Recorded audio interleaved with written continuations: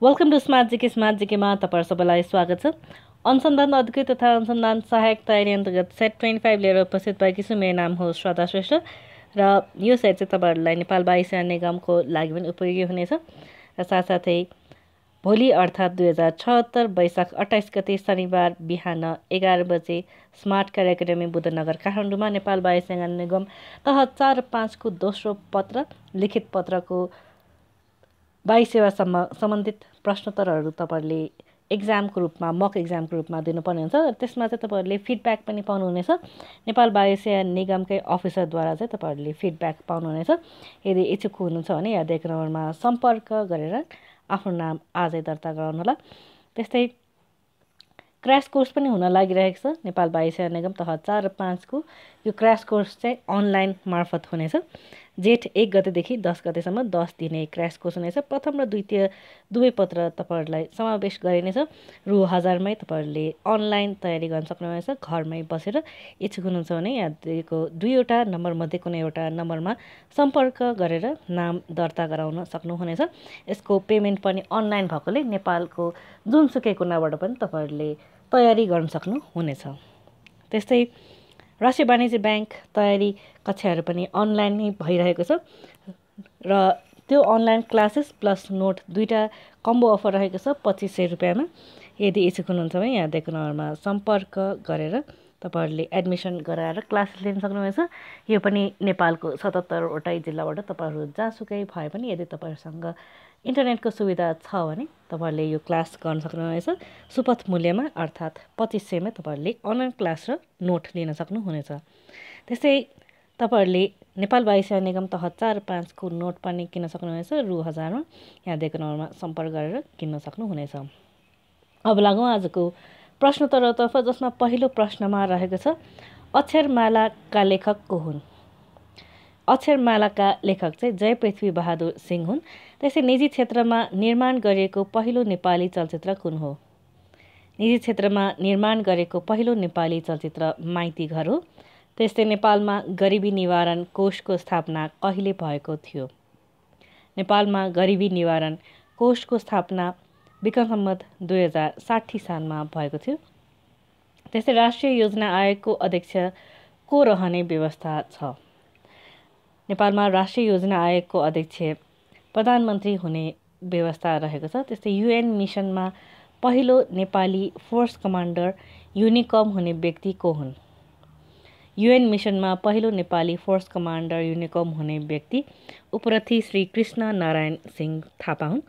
त्यस्तै होम गरिने अन्नलाई के भनिन्छ?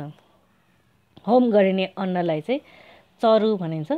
त्यस्तै श्रीमद् भागवत गीता महाभारतको कुन पर्व अन्तर्गत पर्दछ? श्रीमद् भागवत गीता चाहिँ महाभारतको भीष्म पर्व अन्तर्गत पर्दछ। त्यस्तै सोडा पानी बनाउन कुन ग्यासको प्रयोग गरिन्छ? सोडा पानी बनाउनको लागि कार्बन डाइअक्साइडको प्रयोग गरिन्छ। त्यस्तै लज अफ इलेक्ट्रोम्याग्नेटिक इन्डक्सन प्रतिपादन गर्ने व्यक्ति को हुन्? लज अफ इलेक्ट्रोम्याग्नेटिक इन्डक्सन प्रतिपादन गर्ने वैज्ञानिक माइकल फराडे हुन्। त्यस्तै शत्रुबाट बस्न पुच्छर खसालेर भाग्ने प्राणी कुन हो? शत्रुबाट बस्नका लागि पुच्छर खसालेर भाग्ने प्राणी मौसुली हो।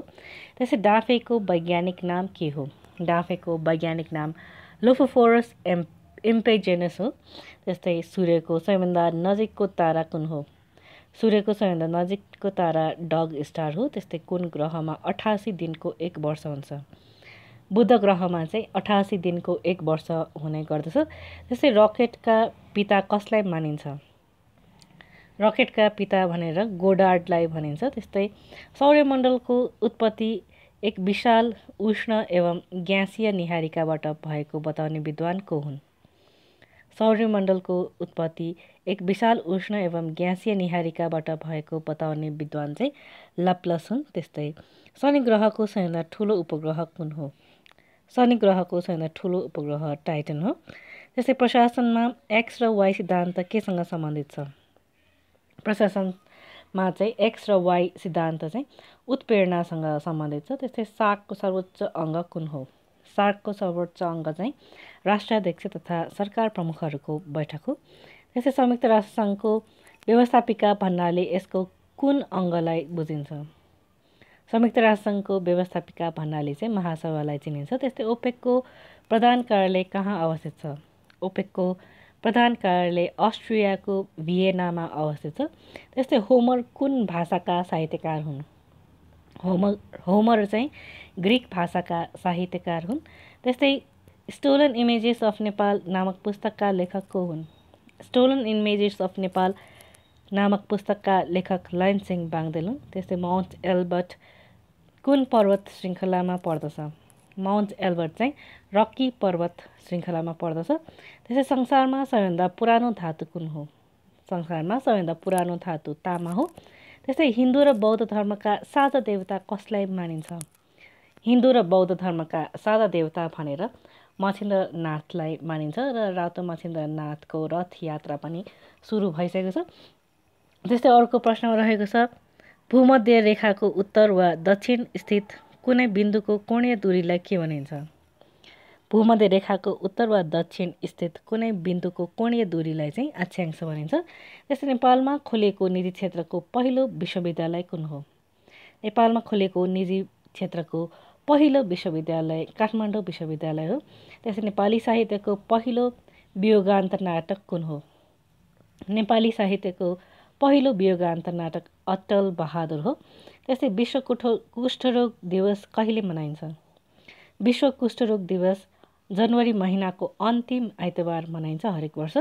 त्यस्तै आजको अन्तिम प्रश्न रहेको छ राष्ट्रिय जनगणना दुई हजार अडसठी अनुसार सबैभन्दा कम साक्षरता दर भएको जिल्ला कुन हो? राष्ट्रिय जनगणना दुई हजार अठसट्ठी अनुसार सबैभन्दा कम साक्षरता दर भएको जिल्ला चाहिँ राउतौट हो।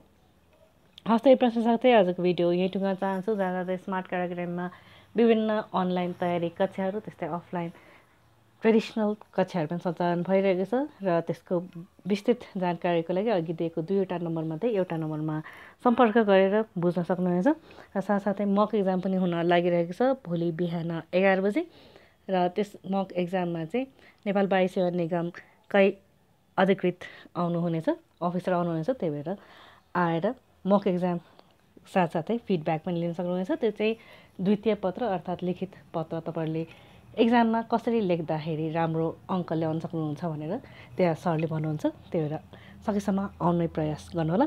त्यस्तै हामी ट्विटर फेसबुक इन्स्टाग्राम टेलिग्राममा अभाइलेबल छौँ। स्मार्ट जिके फोर नामले मनोहर सर मनोहर झा फोर र स्मार्ट कार्यक्रमी स्मार्ट जिके फोर नामले अभाइलेबल छ।